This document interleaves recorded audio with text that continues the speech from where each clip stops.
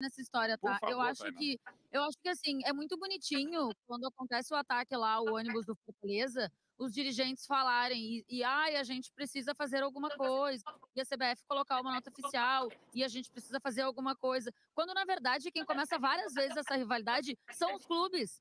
Porque é uhum. muito. É, gente, é muito pequeno um clube não ceder a sala de entrevista coletiva para outra. E eu nem sei se isso é uma resposta do São Paulo, quando do São Paulo, porque o Palmeiras lá também não cedeu. Mas, independentemente se for uma resposta ou não, é pequeno fazer isso. É muito pequeno. E aí, depois, não é. Eu não estou dizendo que as pessoas depois brigam e têm razão, porque aqui começa.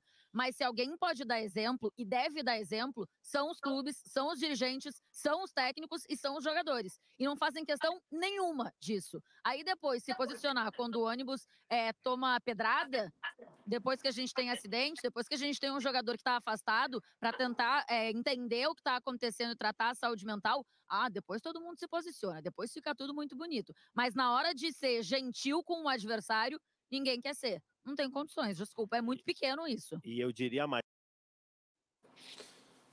Família Palestrina, quando surge, pesado, hein, Dom pesado, Bem pesado, hein? Bem pesado, mas eu acho que ela falou uma parada, ela usou, usou, fez uma comparação que talvez eu não faria, né? Porque foi uma agressão ao ônibus do Fortaleza, o jogador se machucou muito pesado. É, mas eu concordo no que ela fala que a briga começa ali no, a níveis de diretoria. A briga, o vetar esse tipo de coisa que o Júlio Casares fez, vetar a entrevista do Abel Ferreira depois do jogo, porque ele ficou bravinho com a Federação Paulista de Futebol e ficou bravo porque o Abel reclamou, talvez em campo, fazer esse veto. Aí depois todo mundo fala que tem que se ajudar, mas na hora de realmente se ajudar, não se ajuda. Achei pesada a comparação Principalmente no começo, principalmente ali no começo. Mas depois, quando ela foi falando, eu consegui entender o ponto que ela quis chegar e realmente eu concordo com a Thaís Espinosa. É muito fácil todo mundo se juntar e querer ser amiguinho quando a desgraça tá lá.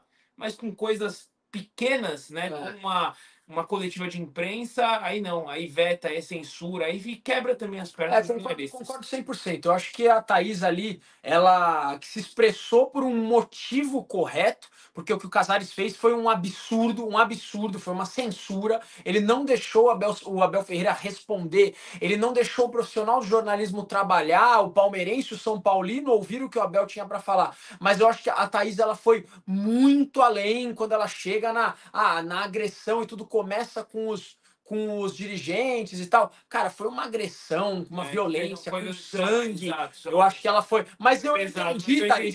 Eu entendi, e é muito importante, Thaís, você, é, pô, uma grande emissora na televisão, falar um negócio desse, expor o quão sério foi esse erro do Casares nesse dia bizarro pro futebol brasileiro. Exato. Deixa o like, se inscreve no canal, ativa as notificações, tamo junto e avante palestra.